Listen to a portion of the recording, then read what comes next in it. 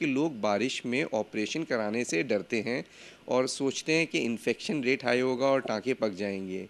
इस तथ्य में कुछ हद तक सच्चाई है और कुछ हद तक कोई सच्चाई नहीं है। पुराने ज़मानों में जहाँ पे ओपन ऑपरेशन हुआ करते थे, वहाँ पे टाँके पकने का कारण मुख्य होता था कि बारिश के सीज़न में पसीना बहुत आता है। तो जो पट्टी हमारी गीली हो जाती है, उससे इन्फेक्शन रेट थोड़ा सीरियस डिस्चार्ज रेट बढ़ जाता है। परंतु आज के ज़माने में जहाँ पे मिनिमली इन्वेजिव सर्जरी होती है और छोटे छोटे छेद होते हैं, उसमें इन सब पकने की या गलाव की संभावना बिल्कुल न के बराबर है।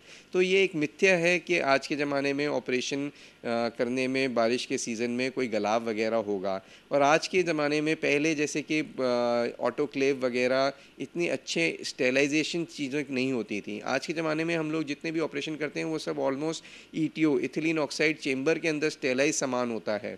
तो वो संक्रमण या किसी भी प्रकार का इन्फेक्शन या टाँक में पकाने की संभावना नहीं होती।